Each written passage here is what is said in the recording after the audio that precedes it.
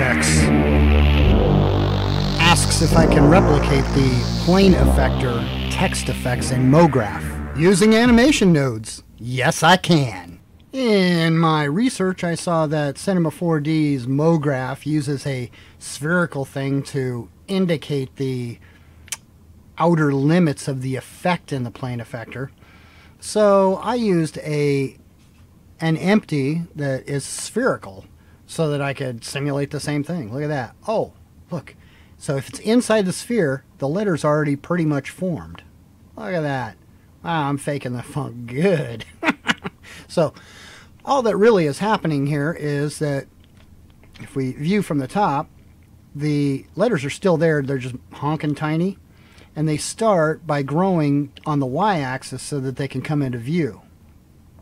But they're real, real wide and really flat. So then they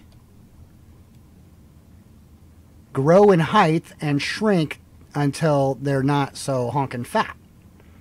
So they become letters. And how are we doing that?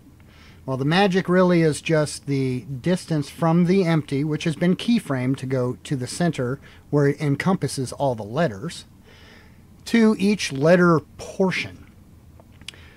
Incidentally, the letters are just made from the add text that's right there in uh, Blender. And I added a bevel and I added some extrusion. Then I converted it to a mesh. So really the letters I converted to a mesh and then I also separated them and then added them to a group. And I also added the cent, made it so that their origin to geometry of each piece. Okay, so that all had to be done too you can see on some of my other videos, I think actually even my first video I did that with a group. But so anyway, each portion of the of the text, in this case, this is a face. There's also a, a back and a tube-shaped thing that is part of the letter. If you wanted to, you can go through and join these so that they're one piece. I didn't do that. But all we're doing is measuring the distance from that empty to each part. We've got a viewer here to indicate how far it is. See how it starts way up here at 12. Let's just zoom right in here. Starts at 12 and it goes all the way down to 2 point something. So 2 point something is like the maximum value that shows in my viewer here. So I want to make sure that everything is in place by 3. So you'll see this one is finally in place at 4, this one's in place at 6, and this one is in place at 3. So this map range node, is basically mapping the value, the input value of 6 to 5 and mapping, mapping the output value of 4 to 1. So pay no mind to it to the fact that it says minimum max and the, let, the here the 6 is actually going down to a 4 don't worry about that. The main point is, is that it's mapping this to this and this to this and that's all there is to it. So ultimately our outputs all three of these outputs on this vector end up being at 1 so the scale value of 1 ends up being on all three axes. So that's the end point of it so what I'm doing is I bring y into existence way out at 7, and at 6 it's in existence fully. Then z, or the x value starts to shrink from 5 to 1, because it's 5 times as wide as it should be, at, starting at 6 and ending at 4. And then it grows in height on the z-axis from 5 to 3, from 0 to 1. So we get this effect here.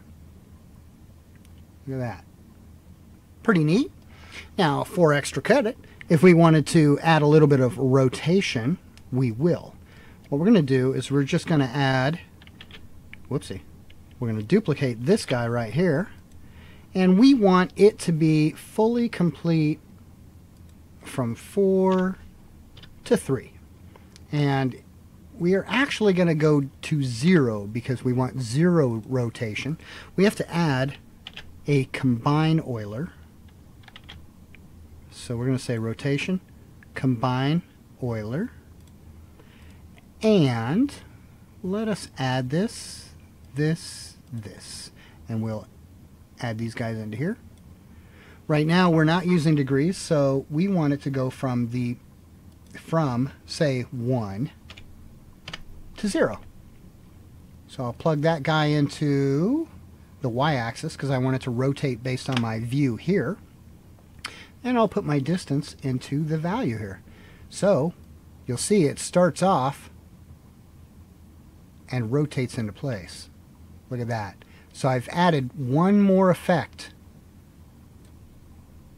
I can easily take it away too. So I've added, really I only had to click the Y.